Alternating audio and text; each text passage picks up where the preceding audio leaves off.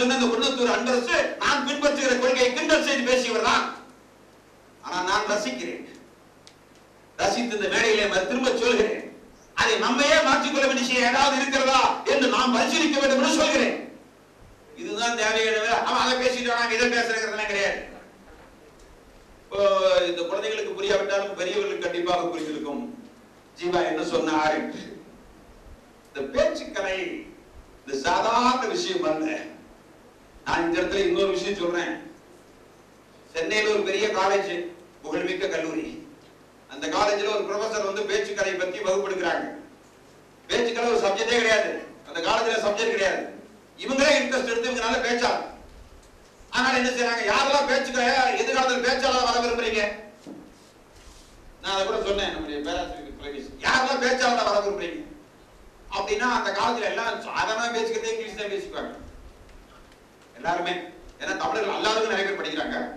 இன்னும் தமிழர்களும் எல்லாருமே இங்கிலீஷ் பேசினாலும் இங்கிலீஷ் பேசிட்டு இருக்கிற காலேஜ் அங்க ஒரு தமிழ் சொல்லி தரதெல்லாம் ரொம்ப வரவேற்கத்தக்கது.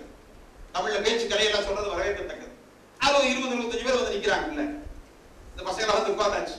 உட்காந்தா அவங்க பேச்சு கலையை பத்தி வகுப்பெடுக்க ஆரம்பிக்கிறாங்க. அவங்களும் நல்ல தமிழ் பேராசிரியர் நல்லா படிச்சவங்க. அவங்க ஆரம்பிக்கிறாங்க நல்ல பேச்சாளர் ஆக வேண்டும் என்றால் நீங்கள் எதிர்காலத்தில் நல்ல பேச்சாளர் ஆனீர்கள் என்றால் உங்களுக்கு என்ன நன்மைகள் இருக்கு அது வேணும்ல? உங்களுக்கு என்ன நன்மை இருக்கிறது அது வேணும்ல? ஃபர்ஸ்ட் கிளாஸ்ல அதுல உட்கார்ந்து ஒரு ஸ்டூடெண்ட் என்கிட்ட வந்து சொன்னதை நான் சொல்றேன். முதல்ல முதல் நீ நன்றாக சிறந்த பேச்சாளர் ஆனால் இருக்கக்கூடிய நன்மைகள் என்ன? முதல் நன்மை நீ ஏராளமாக சம்பாதிக்கலாம். நான் வந்து மிகப்பெரிய சொல்லல முன்னாடி நடந்த சொல்லல. இப்ப ஒரு ஒரு வருஷத்துக்கு முன்னாடி நடந்தது சொல்றேன். நன்றாக சம்பாதிக்கலாம். ஒன்று. இரண்டாவது மற்றவர்களை காட்டிலும் புகழ் பெறலாம். இந்த ரெண்டு இந்த ரெண்டு உண்மையான உண்மைதான். இந்த உண்மையிலேயே சொல்ல. ஆனா பேச்சுக்களை அதற்காக உருவாக்கப்பட்டதா என்ற கேள்விதான் நான் கேட்க விரும்புகிறேன். தயவு செய்து இந்த பேச்சுக்கலையிலே வந்து நீங்க அந்த கலையிலே தேர்ச்சி பெற வேண்டும் என்று விரும்பக்கூடிய நீங்கள் உங்களுடைய பேச்சு கலை என்று சொல்லக்கூடிய அந்த மகத்தான ஆயுதம் அது. ஒரு லட்சம் பேருக்கு வாய்க்காத ஒரு ஆயுதம் இது. செந்தமிழும் நாப்பழக்கம். அப்படின்னு சொன்னாங்கல்ல? சித்திரமும் கைப்பழக்கம் செந்தமிழும் நாப்பழக்கம். ஆனா என்ன பொறுத்தளவுல? என்னுடைய அனுபவத்துல சொல்றேன். செந்தமிழும் எப்ப நாப்பழக்கம்னா ஏற்கனவே நல்லா பேச தெரிஞ்சு நல்லா பேசிட்டு இருக்கிற பேச்சாளர் மாதிரி பேசிட்டு இருக்கிற ஒரு ஆளு திரும்ப திரும்ப திரும்ப திரும்ப திரும்ப திரும்ப பேசினாங்கன்னா பயிற்சி பெற்றா நல்ல சேவையர் மாதிரி ஆயிரும். நல்ல ஒரு உடற்பயிற்சி செஞ்சா எப்படி இருக்கும்? ஒரு வீக்கத்துக்கும் ஒரு வளர்ச்சிக்கு வித்தியாசம் இருக்கு இல்லையா? நல்ல எக்ஸசைஸ் பண்றோம். ஒரு ரெண்டு மூணு வருஷம் எக்ஸசைஸ் பண்றோம். இந்த இடத்துல மசில் வருது.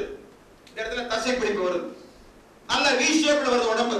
ஒரு ரெண்டு வருஷம் மூணு வருஷம் தொடர்ந்து இடையறாம எக்ஸசைஸ் பண்ணா ஒரு பண்ணல வீட்டுல இருக்கோம். டக்குன்னு வந்து ஒரு குறைவு அடிச்சிருக்கு இந்த இடத்துல. இந்த இடத்துல பெரிய அளவுக்கு வீங்கி இருக்கு. சட்டை போட்டா இந்த இடத்துல தனியா தெரியுது. பிரமாதமா மசூல் தெரியுது இந்த ரெண்டு ஒன்னா ஆகவே ஒண்ணுமில்லாத துணிப்புள் பேசிக்கிட்டு எதையாவது பேசணும்னு சொல்லி பேசிக்கிட்டு மணிக்கணக்காக பேசி அந்த நேரத்தை பே- கேட்கக்கூடிய நேரத்தையும் பேசுற நேரத்தையும் சமுதாயத்தை நேரத்தை வீணாக்காமல் உண்மையாக சேவை இருந்த மாதிரி எப்படி எக்ஸசைஸ் பண்ணி எக்ஸசைஸ் பண்ணி எக்ஸசைஸ் பண்ணி உடம்பு நல்ல சேவையதோ அந்த மாதிரி ஒரு எக்கு மாதிரி உறுதியாகுது அந்த மாதிரி பேசிக்கொண்டு நல்ல பேச்சாற்றல் இயற்கையாக இருப்பவர்கள் பேச பேச பேச பேச அவங்க செழுமை அடைவார்கள் பக்குவம் அடைவார்கள். பேச்சு உங்களுக்கு பக்குவத்தை உருவாக்கும். பேச்சு தைரியத்தை உருவாக்கும். பேச்சு அசைக்க முடியாத தன்னம்பிக்கை உருவாக்கும். இந்த பேச்சுக்கு இருக்கிற சக்தி என்ன தெரியுங்களா? அசைக்க முடியாத தன்னம்பிக்கை உங்களுக்கு உருவாக்கும் முதல்ல தன்னம்பிக்கை இருந்தா தான் பேச முடியும். அடுத்தது பேச பேச பேச தன்னம்பிக்கை அதிகரிக்கும்.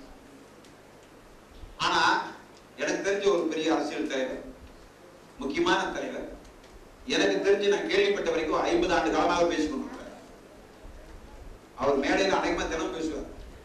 அவர் கடைசி வரைக்கும் அவர் பேச தொடங்கினார்னா அந்த மைக் செட்காரன் கூட அவர் பேசுற நேரத்துல தான் டீ சாப்பிட போமா நான் சொல்றது புரியுதா அப்படின்னு கண்ணால பார்த்தேன் ஜீவா விஷயம் விவேகானந்த விஷயம் நான் கேள்விப்பட்டது படிச்சது ஆழ்ந்து யோசிச்சது.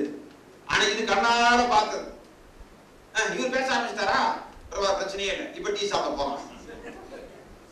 மைக் செட் காமே டீ சாப்பிட போறான்னா? மீதி உள்ள என்ன ஆகுறான்? அப்படியே துப்பாக்கி பிரயோக மைதானம் மாதிரி ஆயிரும். இவர் பேச மேலே வந்து உட்கார்ந்து துப்பாக்கி பிரயோக மைதானம். ஒரு ஆளை காணோம்.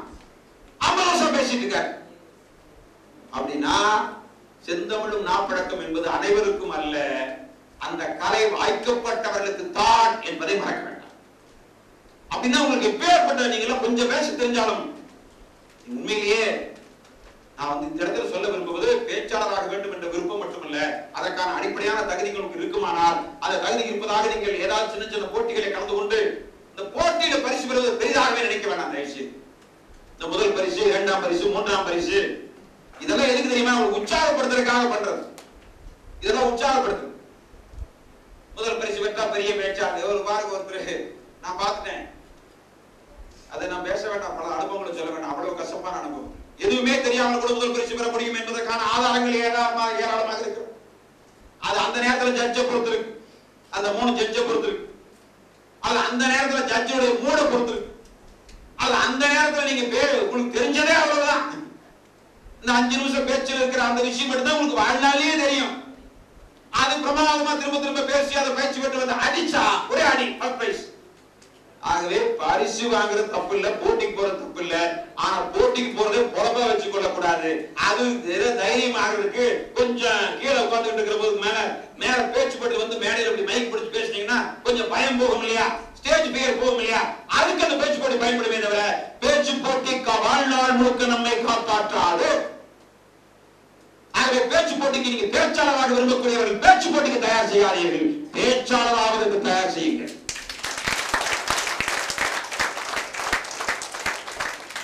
பேச்சு போட்டியில் வெற்றி பெற்ற பலர் பேச்சாளர் ஆனதில்லை என்ற கசப்பான உண்மையை உங்களுக்கு நான் பதிவு செய்ய விரும்புகிறேன்.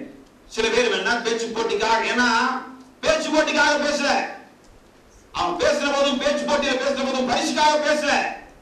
வாய்ப்பு கிடைப்பதை பயன்படுத்துவோம் கருத்தை சொல்வோம் என்பதற்காக பேசியவன் பேச்சாளனானான் வெறும் பரிசை மட்டுமே குறிவைத்து பேசியவன் செயற்கையான பேச்சு போட்டி ஆனதானானே தவிர பேச்சாளன் ஆகவில்லை ஆகவே நீங்கள் பேச்சு போட்டியில கலந்து கொள்ளுங்கள் அதை வேண்டாம் என்று சொல்லவில்லை. ஆனால் அதுவே வாழ்க்கையில் இருக்காதீர்கள். அடுத்த கட்டத்துக்கு வாருங்கள். இந்த இந்த பள்ளிக்கூடத்து மாணவ செல்வங்கள் எல்லாம் நீங்க தயவு செய்து ஒரு பத்து பேச்சு போட்டு கலந்துக்க ஒரு இருபது பேச்சு போட்டு கலந்துக்க அப்ப தூக்கி எறிஞ்சிட்டு படிங்க நிறைய படிங்க. நிறைய பேர் பேச்சாளர்கள் பேசுறத கேளுங்க. நான் ஒண்ணே ஒண்ணு சொல்றேன் பேச்சாளர்கள் பேசுவதை கேளுங்கள். நிறைய பேச்சாளர் ஈரோடு புத்தக திருவிழால இந்த மாதிரி ஜீவா மாதிரி நம்முடைய பெரிய பசுபொன் தேவர் மாதிரி சத்தியமூர்த்தி மாதிரி பேச்சாளர்களே யாரும் இல்லை சத்தியமூர்த்தி விடுதலை போராட்ட காலத்துல சத்தியமூர்த்தி. நான் சோமயாஜலு இவங்கெல்லாம் தமிழ்நாட்டுல தலை சிறந்த பேச்சாளர்கள். நம்ம சிங்காரவேலன் இந்த வாவுசி. நீங்க வாவுசி வாவுசு வாவு யாரு? வாவுசி. சிதம்பரம் பிள்ளை கப்பலோட்டிய தமிழன். அவரும் சுப்பிரமணிய சிவா ரெண்டு பேர் ரெட்டையர்கள் நல்லா புரிஞ்சுங்க. தமிழக விடுதலை போராட்டத்தினுடைய திரிசூலம் அப்படின்னு யாருன்னு கேட்டா உங்களை கேட்கிறேன் தமிழ்நாடு விடுதலை போராட்டத்தில் திரிசூலம் அப்படின்னா திரிசூலம் முக்கியமான மூணு பேர் யார்? மூவேந்திரர்கள் யார்? மும்மூர்த்திகள் யார்?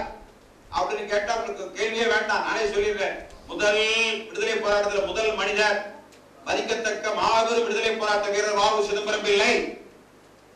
இரண்டாவது திரிசூலத்திலே வரலாற்று சொல்லியிருக்காங்க வரலாற்று அறிஞர்கள். சுப்பிரமணிய சிவா மூன்றாவது சுப்பிரமணிய பாரதியார். இந்த மூணு பேர் தான் தமிழகத்தில் விடுதலை போராட்டத்தை திரிசூலம் விடுதலை போராட்டத்தின் திரிசூலம் யாரு? பாலகங்காதர திலகர் பாத்தீங்களா? நீங்க வரலாற்றுல இந்திய விடுதலை போராட்டத்தின் திரிசூலம் என்றால் பாலகங்காதர திலகர் மராட்டிய மாநிலத்தைச் சேர்ந்தவர். பிபின் சந்திர பாலர் வங்காள மாநிலத்தைச் சேர்ந்தவர். லாலா லஜபதி ராய் பஞ்சாப் மாநிலத்தைச் சேர்ந்தவர். பஞ்சாபின் சிங்கம் என்று அழைக்கப்பட்டார் இந்த மூன்று பேர் தான் இந்திய விடுதலை போராட்டத்தின் திரிசூலம். அகப்பா காந்தியடிகள் தலைமையில் தான் இந்திய விடுதலை கிடைத்தது என்பதில் சந்தேகமில்லை. அவர்தான் தேசத்தின் தந்தை என்பதில் சந்தேகமில்லை. ஆனால் இந்திய விடுதலை போராட்டத்தை திரிசூலம் என்றால் இந்த மூன்று பேர் தான் என்பதை மறந்துவிட வேண்டாம். நான் சொல்லல. விடுதலை போராட்டத்தை பற்றி ஆராய்ச்சி செய்யக்கூடிய அத்தனை வரலாற்று அறிஞர்களும் வந்த முடிவு இந்த மூன்று பேர் தான். மும்மூர்த்திகள் பால் கங்காதர திலகர் பிபின் சந்திர பாலன் பால் கங்காதர லாலா லஜ்பதி ராய். இந்த மூன்று பேர் தான். நான் இதை சொல்றதுக்கு என்ன காரணம்னா பாவுசி ஒரு நூறு பேர் இரநூறு பேர் தான் போடுவாங்க அப்போ. இந்த மாதிரி ஒரு பெஞ்சை போட்ட வேண்டியது பெரிய இதெல்லாம் கிடையாது. அப்ப ஸ்டேஜ் எல்லாம் கிடையாது. இந்த ஸ்டேஜ் அப்படி பேசுவார். எனக்கு முன்னாடி அநேகமா காலையில இருந்து பேசினவங்க முத்தையா இருந்து யாராவது இந்த இதை கருத்தை சொல்லி இருக்க கூடும். பாவுசி சொன்னாங்க பாவுசி தயவு செய்து ஒரே ஒரு கருத்தை பதிவு செய்கின்றேன். தமிழகத்துல விடுதலை போராட்ட காலத்துல பாவு சிதம்பரம் பிள்ளை எப்படி நான் ஜீவாவை சொன்ன ஆவு சிதம்பரம் பிள்ளையினுடைய அந்த சொற்பொழிவு. அது ஆயிரத்தி தொள்ளாயிரத்தி எட்டு ஆயிரத்தி தொள்ளாயிரத்தி அஞ்சுல இருந்து எட்டு வரை. ஆயிரத்தி தொள்ளாயிரத்தி அஞ்சு தான் வங்க பிரிவினை வெள்ளையனுடைய சூழ்ச்சியால் நடைபெற்ற வங்க பிரிவினை ஆயிரத்தி தொள்ளாயிரத்தி அஞ்சு. சுதேசி இயக்கம் ஆயிரத்தி தொள்ளாயிரத்தி அஞ்சு. அதனுடைய தாக்கம் தான் கப்பல் ஓட்டியது. ஆயிரத்தி தொள்ளாயிரத்தி ஆறில் தான் கப்பல் கம்பெனி பதிவாக ஆவுசி ஆயிரத்தி தொள்ளாயிரத்தி எட்டில் அங்க கோரல் மில் என்று சொல்லக்கூடிய அந்த மில்லில் ஆயிரம் தொழிலாளிகள் வேலை செய்கிறார்கள். தொழிற்சங்கத்தை உருவாக்குகிறார் வாவுசி அந்த மக்களுக்கு அப்படியே விடுதலை போராட்ட உணர்வை உருவாக்கும் என்பதற்காக வாவுசி இந்த மாதிரி ஒரு மூணு ச- தெருவு கூடுற இடத்துல முதல்ல சுப்பிரமணிய சிவா பேசுவாராம். அவர் அடுத்து வாவுசி பேசுவார். சில இடங்கள்ல அதே மாதிரி ஒரு இடத்துல வந்து வாவுசி பேசிட்டு இருக்காரு. அப்படியே பத்து முந்நூறு பேர் அப்பெல்லாம் அப்படி வாவுசி பேசினாங்கன்னா அந்த பேச்சு எப்படி இருந்தது என்று ஆராய்ச்சியாளர் எழுதியிருக்காங்க இந்த வாவுசி பேச்சும் சுப்பிரமணிய சிவா பேச்சு எப்படி இருந்தாமா இதை மட்டும் மைண்டில் வச்சுக்கங்க. சுதந்திரம் வந்து சும்மா கிடைக்கல. போராட்டத்தினால மட்டும் கிடைக்கல. பேச்சு ஒரு பெரிய போராட்ட கலை போராட்ட வடிவம். பேச்சு. பேச்சு என்பது பெரிய போராட்ட வடிவம். தந்தை பெரியார் வந்து அழகு தமிழ்ல பேசுறது இல்லை அடுக்கு தமிழ்ல பேசுறது இல்லை. ஆனா அவர் மாதிரி ஆயிரக்கணக்கான கூட்டங்கள் போய் கிராமங்களுக்கும் போய் மக்களுக்கு எளிய முறையில் பேசின பேச்சாளர் யாரும் இல்லை. நீ தயவுசெய்து புரிஞ்சுக்க இந்த வரலாற்றுல தமிழகத்துல பேசிய பேச்சாளர்கள் வரலாறு அவர்கள் எப்படி பேசினார்கள்? அவர்கள் பேசுவதற்கு என்னென்ன மாதிரியான வரலாற்று விஷயங்கள் எல்லாம் இருக்கிறது என்பதை முடிந்தால் வாய்ப்பு இருந்தால் நீங்கள் வாசித்து பாருங்கள். அதுல ஆலோசி பேசுறார். வெள்ளையனை வெளியேற்ற வேண்டும். உடனே வெளியேற்ற வேண்டும். பேசி உச்சாரத்து வரும்போது உடனே வெளியேற்ற வேண்டும். நானூறு ஐநூறு பேர் கேட்டுட்டு இருக்காங்க மூணு தெருக்கள் சந்திக்கின்ற இடம். அவனை மூட்டை முடிச்சு வெளியேற்ற வேண்டும். அப்படி இப்படின்னு ஆவேசம் பேசுற போது கீழே உட்கார்ந்து இருக்கிற சுப்பிரமணிய சிவா திடீர்னு உணர்ச்சி வசப்பட்டு பிள்ளைவால் பாருங்க எப்படி சீன் பாருங்க அன்னைக்கு வெறும் பேச்சாளா இருந்தது. இன்னைக்கு அலங்கார பேச்சு வேற. பிள்ளைவால் வெள்ளையான வெளியேற்ற சொல்லுங்க. மூட்டை முடிச்சுங்கிறாங்கல்ல அந்த மூட்டை முடிச்சு நம்முடைய இருந்தாங்க அவர்களுக்கு அப்படியே பாவிச்சு பேசிட்டு இருக்கார் தன்னை மறந்து பேசிட்டு இருக்கார். மூட்டை முடிச்சோட வெளியேற்ற வேண்டும். அப்படின்னா உடனே கீழே வந்துட்டு இருக்கிற சும்மா பேசுறாரு. ஒரு வார்த்தைக்காக பேசுறாரு. அந்த மக்களை உற்சாகப்படுத்துறதுக்கு பேசுறாரு. மக்களுக்கு நம்பிக்கை உருவாக்குறதுக்கு பேசுறாரு. மக்களுக்கு போராட்டத்துக்கு தயார் பண்றதுக்கு பேசுறாரு. ஒரு எழுச்சி உருவாக்குறதுக்கு பேசுறாரு. ஒண்ணு வச்சுங்க பேசுறது பேசுறதுக்காக இல்ல பேசுறது ஒரு விளைவை ஏற்படுத்துறதுக்காக ஒரு விளைவை ஏற்படுத்துறதுக்காக பேசுறது சம்பாதிக்கிறதுக்காக இல்ல சம்பாதிக்கிறதுக்காக இல்ல. சம்பாதிக்கிறது தப்பல்ல. நான் சம்பாதிக்கிறதுக்காக பேசுறேன். பேசுறது ஒரு மகத்தான சமுதாயத்தை உருவாக்குவதற்காக. அப்ப அந்த ஆளு அடுத்து சும்மா பேசிட்டு இருக்காரு. பேச்சாளர் பேசிட்டு இருக்காரு. அவர் நெருங்கிய நண்பர். ரட்டையர்கள் மாதிரி. வாவுசி சுப்பிரமணிய சிவாவும் அவ்வளவு க்ளோஸ் ஃப்ரெண்ட்ஸ் பேசிட்டு இருக்கிறது வாவுசி பேசிட்டு தான் இருக்காருங்கிறது அவருக்கு தெரியாதா? அன்னை மருந்து எந்திரிச்சு நின்று, பிள்ளைவாள். எதுக்கு கத்துறாரு? பிள்ளைவாள். மூட்டை முடிச்சு நம்முடையது. அப்படின்னு முதல்ல அவரே உணர்ச்சி வசப்பட்டார்னு அர்த்தம். மக்களை உணர்ச்சி வசப்படுத்துக்கு பேசினாரு பாவுசி. ஆனா அந்த பேச்சை கேட்டு நெருங்கிய நண்பராக தோழனாக ஒன்றாக உண்பதும் ஒன்றாக உறங்குவதும் ஒன்றாக போராடுவதுமாக இருந்த ஒன்றாக ஜெயில் இருப்பதுமாக இருந்த சுப்பிரமணிய சிவாவே உணர்ச்சி வசப்பட்டு விட்டார் என்றார். பேச்சுன்னா அதாக பேச்சு. எல்லா பேச்சும் பேச்சாயிருமா நான் நினைக்கிறேங்க. உண்மையா நான் நினைக்கிறேன். இந்த பேச்சுக்கெல்லாம் ஏன் வரலாறு கடந்து நிக்குதுன்னா நான் சொன்ன இந்த மாதிரி ஆளுக்கு பேச்செல்லாம் விவேகானந்தர்ல தொடங்கி இந்த தலைவர்கள் பூரா பேசுனதெல்லாம் இன்னைக்கு நம்ம நெஞ்சில ஏன் ஆழமா நிக்குதுன்னா உண்மையாகவே அந்த பேச்சுல உண்மை இருந்துங்க அதான் என் வேற ஒண்ணும் ரகசியம் இல்லை. உள்ளத்தில் உண்மையை உண்டான் உண்டாயின் உண்டான்னு சொன்னார்ல அந்த வாசகம் தான் இந்த பேச்சாளர் பயிற்சி முகாம் ரெண்டு நாள் நடத்தினீங்களே நீங்க திரும்பி செல்ல செல்கிற போது உங்கள் நெஞ்சில் கல்வெட்டாய் பதிய வைத்துக் கொள்ள வேண்டியது என்ன? உள்ளத்தில் உண்மை ஒளி உண்டாயின் வாக்கினில் ஒளி உண்டாகும். அவர்கள் பேசியது உண்மை. அவர்கள் பேசுவதற்காக பேசவில்லை. உள்ளத்தின் அடியாரத்தில் இந்த உண்மையை பீழ்த்து வெளியே கொண்டு வந்தார் அப்படியே ரத்த நாள நாடி நரம்பு. அத்தனையும் பேசி உதடு மட்டும் பேசல. அவன் பேசுறது எப்படி பேசினா அந்த நம்ம தலைவர்கள் பேசின போது ரத்த நாளம் நாடி நரம்பு. அப்படியே உடம்பு உச்சந்தலைந்து உள்ளங்கால் வரைக்கும் ஒவ்வொரு மயிர்காலும் பேச்சு ஏன்னா அது உண்மை இருந்தது ஆவேசம் இருந்தது உணர்ச்சி இருந்தது. எல்லாவற்றையும் விட சர்வபரி தியாகம் செய்வதற்கு கைது செய்யப்பட்டாலும் தூக்கிலே தொங்கவிடப்பட்டாலும் அந்த சாவை சந்திக்கின்ற துணிச்சல் அந்த தலைவர்களுக்கு இருந்தது. ஆகவே இந்த பேச்சாளர்களுக்கு நான் எத்தனையோ நீ வேலை எந்திரிச்சா அன்பார்ந்த என்று பேச வேண்டும் நன்றி என்று முடிக்க வேண்டும். அதெல்லாம் உண்மைதான். அதெல்லாம் நீங்க கேட்டுக்கங்க.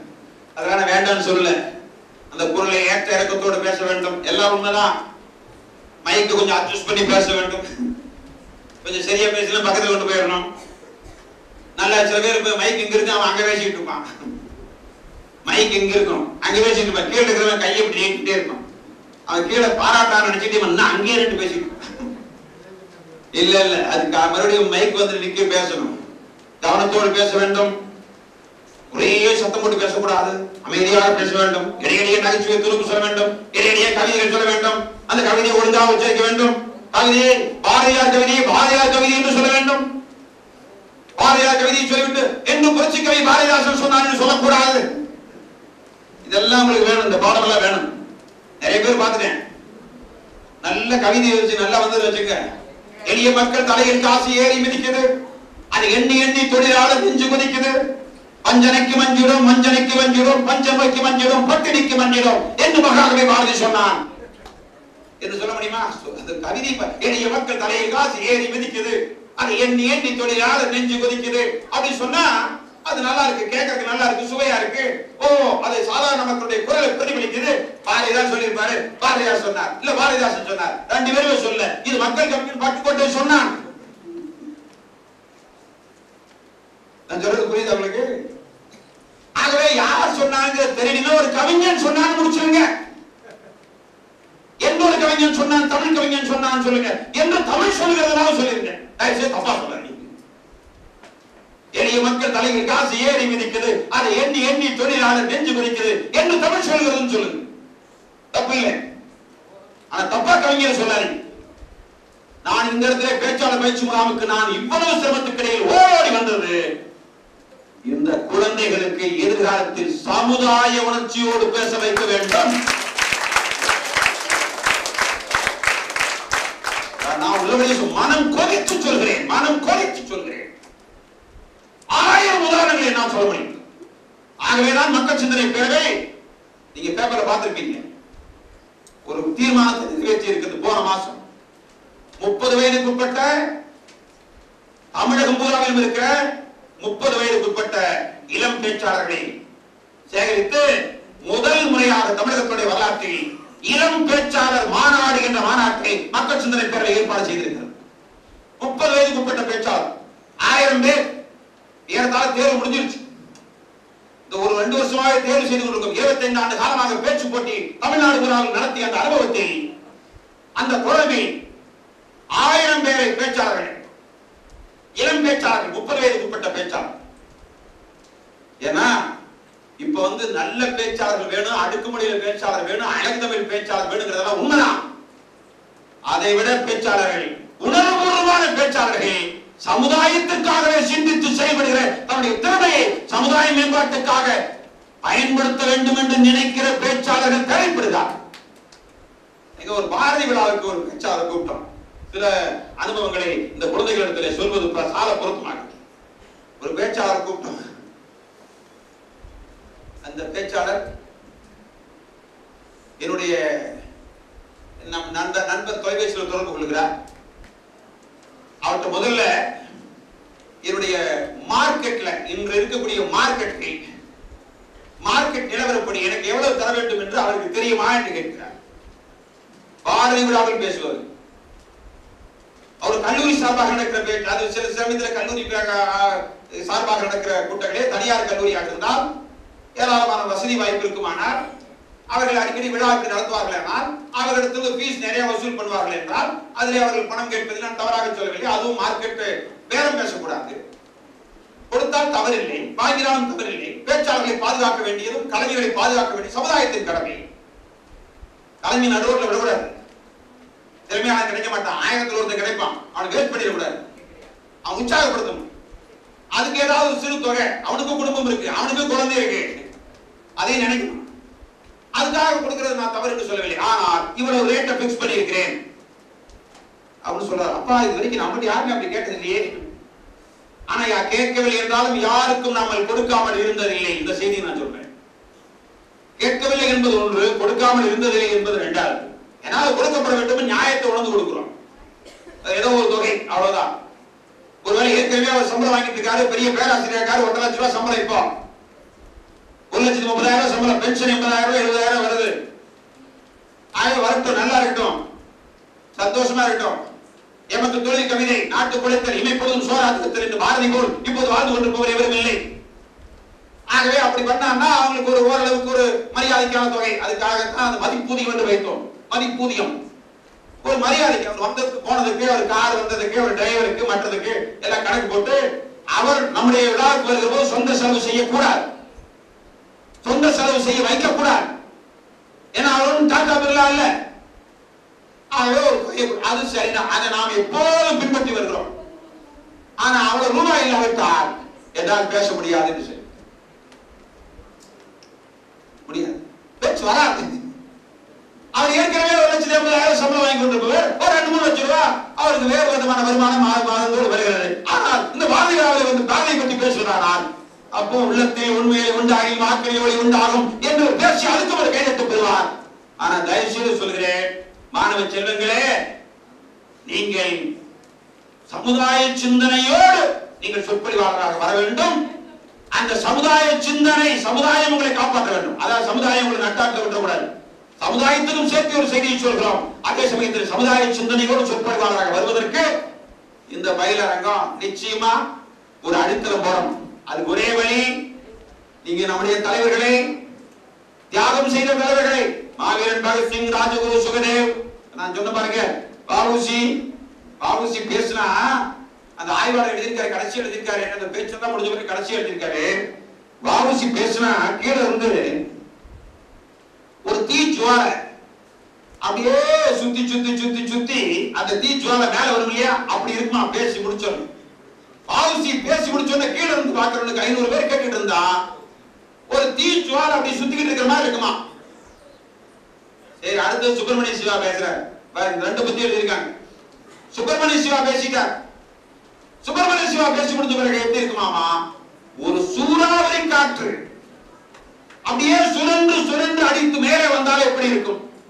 முதல்ல தீச்சுவாலை சுழண்டு சுழண்டு அடிச்சு மேல வந்தா எப்படி இருக்கும்? ஆவுசி. இப்போ சூறாவளி மையம் கொண்டு சுரண்டு சுழண்டு அடிச்சு கீழே இருந்து அப்படியே உயரமா மேல வந்தா எப்படி இருக்கும்? அது சுப்பிரமணிய சிவா.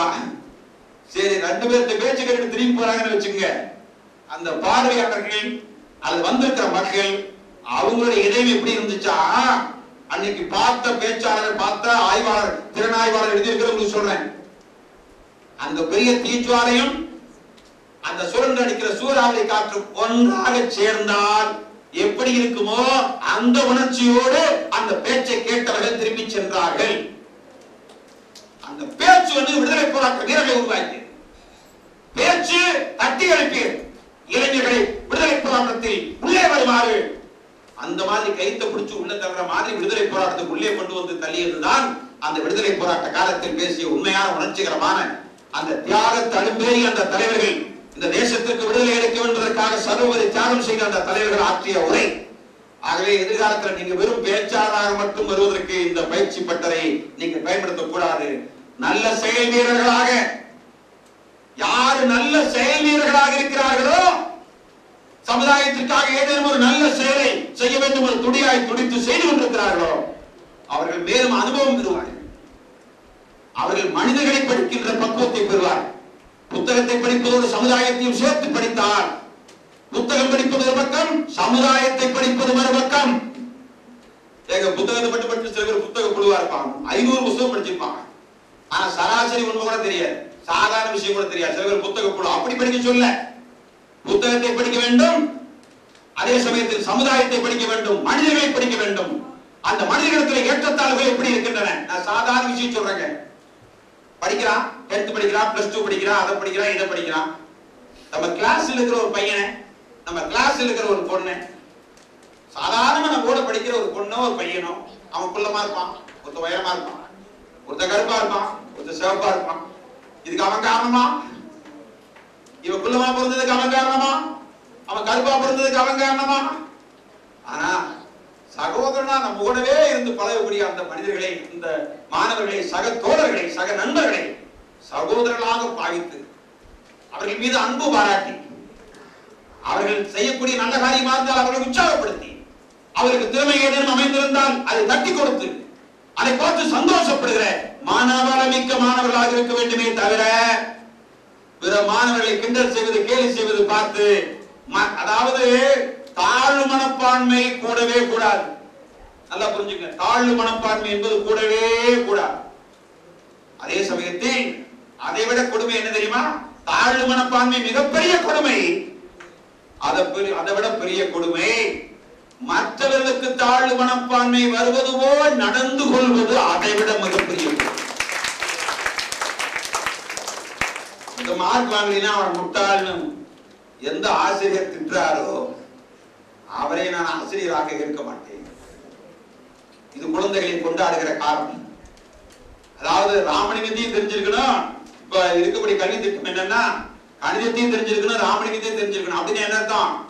ராமலிங்கம் எந்த ஊரு அவங்க அப்பா யாரு என்ன வறுமையில் இருக்காரு என்ன பிரச்சனை சாப்பாட்டுக்கு இல்லையா அவங்க அப்பா அம்மாவுக்கு சண்டையா என்பதை ஒரு தனி மனித மாணவனையும் தெரிந்திருக்க வேண்டும். அதே சமயத்தில் நான் கணித ஆசிரியராக இருந்தால் கணிதத்தையும் தெரிந்திருக்க வேண்டும். இந்த இரண்டையும் தெரிந்திருந்தால் தான் அவர் ஆசிரியர் என்று சொல்லத்தக்க காலகட்டத்தில் நாம் வாழ்கிறோம். அப்படி இருக்கிற போது சிறந்த பேச்சாளர்களை உருவாக்க வேண்டும். அந்த சிறந்த பேச்சாளர்கள் சிந்தனையில் தெளிவுள்ளவர்களாக சமுதாயம் பற்றி புரிந்தவர்களாக நம்முடைய திறமையை சமுதாயத்துக்கு அர்ப்பணிக்க வேண்டும் என்று நினைக்கக்கூடியவர்களாக ஏராளமான விஷயங்களை வாசிக்கக்கூடியவர்களாக அரிய பெரிய அற்புதமான சொற்பொழிவாளர்கள் சிந்தனையாளர்களுடைய உரைகளை எல்லாம் அது அகில உலகத்தில் இங்கிலீஷாலாக இருந்தாலும் அன்றைய தேசத்திலே இருந்த மகத்தான சொற்பொழிவாளர்கள் இப்போது நம்மோடு வாழ்ந்து கொண்டிருக்கிற சொற்பொழிவாளர்களாக இருந்தால் அத்தனை பேருடைய உரைகளை கேட்டுக்கொள்ள வேண்டும். அதே சமயத்தில் யாரையும் நீங்கள் தனிப்பட்ட முறைகளை பின்பற்ற கூடாது இது ரொம்ப முக்கியமான ஒரு செய்தி.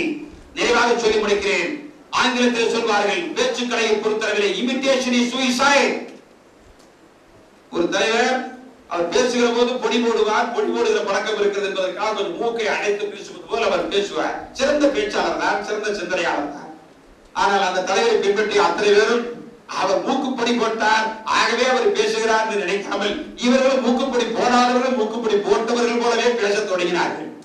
கடைசியே இமிட்டேஷனை சுயசைட் எவர் பேச்சும் ஈடுபடவில்லை ஏனென்றால் நன்றாக பேசினார் என்பது உண்மை. ஆனால் அவர் பேசினார் என்றால் அறிவிப்பு நீங்கள் எல்லோர் பேச்சையும் கேட்க வேண்டும். ஆனால் உங்களுக்கு என்று தனியான ஒரு பாணியை உருவாக்கிக் கொள்ள வேண்டும். ஒரிஜினாலிட்டி நீங்கள் தனித்தன்மையோடு இருக்க வேண்டும். ஒரிஜினாலிட்டியோடு இருக்க வேண்டும். அவர் பேசியதை போல் நான் பேசுகிறேன். அவர் நன்றாக பேசுகிறார். அவருடைய தாக்கம் உங்களுக்கு இருக்கிறாமே தவிர ஒரு பேச்சாளருடைய தாக்கம் எனக்கு விவேகானந்தருடைய தாக்கம் எனக்கு இருக்கிறது.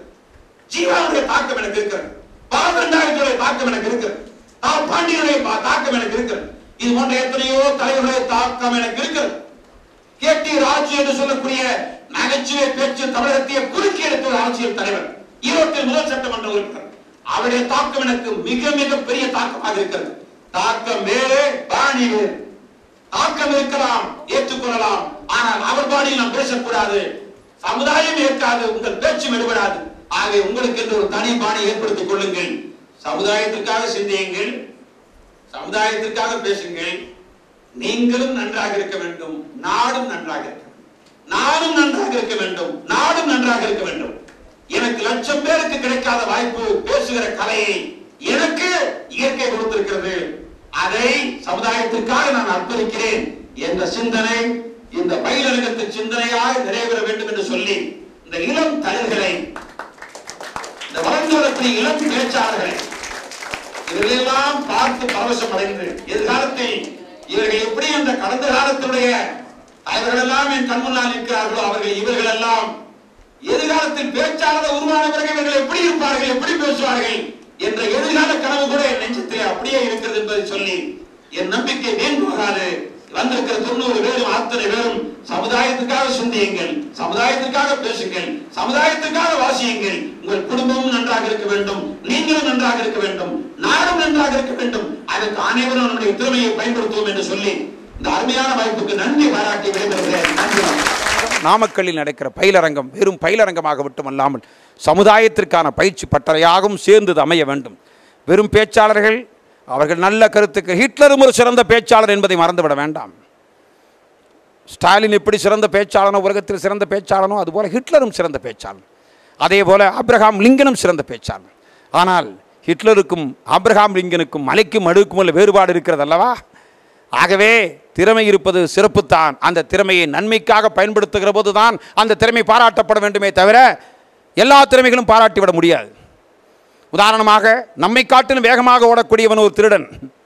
நாமக்கல்லில் ஜன நெரிசலில் பண்டிகை நேரத்தில் இரண்டு சக்கர வாகனங்களில் வேகமாக வந்து கழுத்தில் இருக்கக்கூடிய சங்கிலியை அறுத்து சென்று பிடிப்பதற்கு ஆயிரம் பேர் ஓடுகிற போதும் அதையும் தப்பித்து மதுச்சுவற்றை தாண்டி ஒருவன் ஓடினால் ஆஹா இவன் ஒலிம்பிக்கில் ஓட வேண்டியவன் அல்லவா? என்று பாராட்டுவோமா? திருடனுக்கு திறமை இருந்தால் அது சமுதாயத்திற்கு மேலும் ஆபத்தை ஏற்படுத்தும். அதுபோல ஆபத்து மிக்க பேச்சாளர்கள் இருப்பார்கள் திறமையான பேச்சாளர்கள். நமக்கு தேவையானது நேர்மையான பேச்சாளர்கள். நமக்கு தேவையானது தூய்மையான பேச்சாளர்கள். நமக்கு தேவையானது உண்மையான பேச்சாளர்கள். நமக்கு தேவையானது சமுதாயத்திற்கான பேச்சாளர்கள். அதை வலியுறுத்துவதற்காக மட்டும்தான் வந்தேனே தவிர இந்த குழந்தைகள் தானாக வளர்ந்து விடுவார்கள். அவர்கள் இயல்பாகவே வளருவார்கள். நாமெல்லாம் சின்ன வயதில் இருந்தபோது நம்முடைய நடனம் வேண்டுமென்றால் நடன பயிற்சிக்கு செல்வோம். ஆனால் நம் குழந்தைகள் நடன பயிற்சிக்கு செல்லாமையே சிறந்த நடனம் ஆடுகிறார்கள். நாம் சைக்கிள் ஓட்டுகிற போது ஒரு வருட காலம் சைக்கிள் பழகினோம். குரங்கு படலிலே பழகினோம். தண்டு மேல் காலை எடுத்து போய் வைப்பதற்கு ஆறு மாத காலம் ஆயிற்று. அதுக்கு பிறகு அது பண்ணி வண்டி நிறுத்துவதென்றால் பத்து இடங்களில் காயம் ஏற்பட்ட பிறகு தான் சைக்கிள் பழகினோம். ஆனால் இப்போ இருக்கிற குழந்தைகள் யாராவது சைக்கிள் பழகுகிறார்களா? குரங்கு படல் போடுகிறார்களா? ஆனால் சைக்கிள் ஓட்டாத குழந்தைகள் உண்டா? சைக்கிளும் ஓட்டுகிறார்கள் மோட்டார் சைக்கிளும் ஓட்டுகிறார்கள் காரும் ஓட்டுகிறார்கள் என்றால் நம்மை காட்டிலும் புத்திசாலிகள் இவர்கள். ஆனால் புத்திசாலிகளாக இருந்தால் பத்தாது. அவர்கள் சமூக உணர்வாளர்களாகவும் சேர்ந்த அந்த புத்திசாலிகள் வந்தால் நம்மை காட்டிலும் சிறந்த பங்களிப்பு அவர்களால் செலுத்த முடியும் என்ற காரணத்தால் தான் அந்த குருத்து குழந்தைகளை குழந்தைகள் மழலை குழந்தைகளின் குழந்தைகள் முகத்தை பார்க்கிற போது மற்றற்ற மகிழ்ச்சி அடைந்தேன். இந்த நாமக்கல் நட்காரியத்தை செய்திருக்கிறது. நன்றி வணக்கம்.